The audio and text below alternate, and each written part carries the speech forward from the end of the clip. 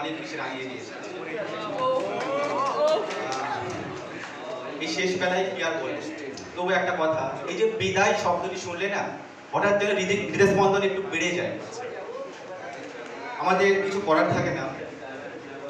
আমরা এই বিদায় শব্দটির সঙ্গে সবাই পরিচিত বা কেউ আমরা এর সম্মুখীন হতে চাই না। কিন্তু সময়ের কাছে আমরা পরাজিত, সময়ের কাছে আমরা হার মানতে বাধ্য।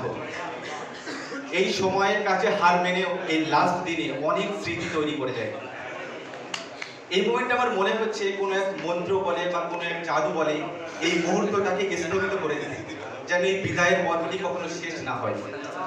কিন্তু আফসোস সেটা করতে পারব না।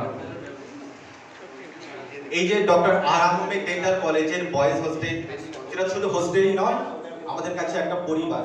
এক অদৃশ্য মায়ায়, এক অদৃশ্য ভালোবাসার বন্ধনে বাধা রয়েছে, যেটা আমরা চাইলেও বেরিয়ে যেতে পারি না।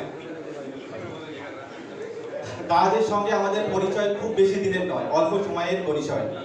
কিন্তু এই অল্প সময়ের মধ্যে যে ভালোবাসা, যে অনুশাসন, যে স্নেহ মমতা পেয়েছি, সেখান থেকে মনে হয় না এই পরিচয়টা অল্প দিনের, মনে হয় যেন জন্ম, জন্মান্তরের যুগ, যুগান্তরের পরিচয়।